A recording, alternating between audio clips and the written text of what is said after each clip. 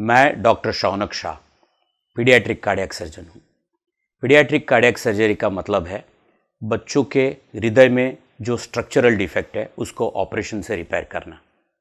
आपको ये तो मालूम ही होगा कि हमारे सीने में जो हृदय धड़कता है, उसमें चार चैम्बर और चार बड़ी नाली है। हमारे देश में एक हज़ार बच्चे अगर पैदा होते हैं तो उनमें से दस को ये कंजेनेटल हार्ट डिसीज़ यानी कि पैदाइशी हार्ट की डिफेक्ट होती है।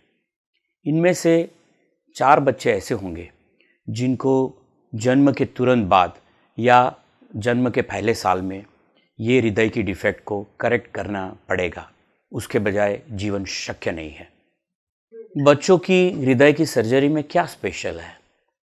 एक तो पहले तो बच्चे हैं, छोटे हैं, और हृदय हमारा धबकता है।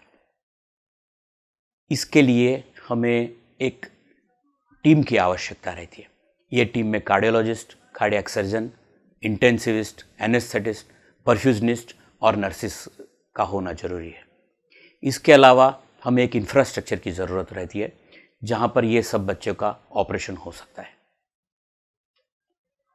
आपने सुना होगा कि फला फला के बेटे के दिल के पर्दे में छेद है।